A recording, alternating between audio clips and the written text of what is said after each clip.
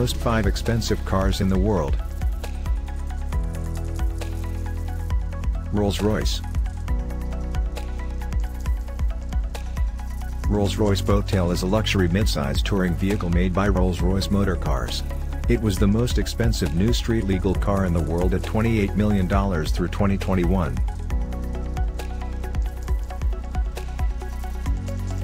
Bugatti La Voiture Noire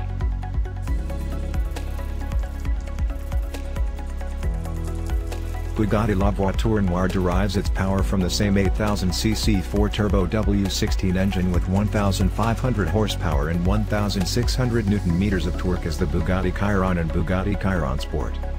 The Bugatti La Voiture Noire sold for $18.68 million.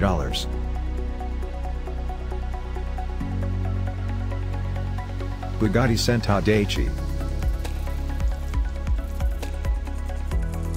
The Bugatti Centodieci is based on a 6-liter W16 engine with four turbochargers that produces 1,600 horsepower. The legendary car accelerates from 0 to 100 km, h in 2.4 seconds, from 0 to 200 km, h in 6.1 seconds, and from 0 to 300 km, h in 13.1 seconds, and its top speed is electronically limited to 380 km, h. 10 copies of the Bugatti Centodieci Festive model will be made, with the single car starting at $8.9 million.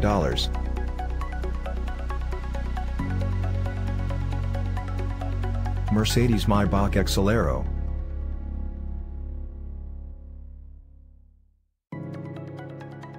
The Maybach Exelero S 6.0-liter V12 engine, the same used in the Maybach 57S, with a power of 700 horses, is capable of delivering this mobile palace to a speed of 100 km per hour in 4.4 seconds and a top speed of 351 km per hour. There is some controversy about the current owner of the car. Some say rapper Birdman, aka Brian Williams, is her owner and some say she is with Jay-Z. But what is certain is that its price exceeds 8 million US dollars. Bugatti Divo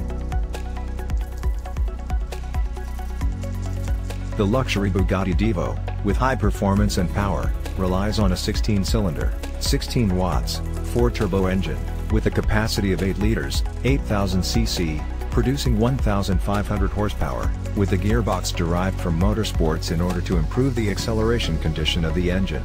Only 40 copies of it were made around the world, and its price is estimated at about $8 million.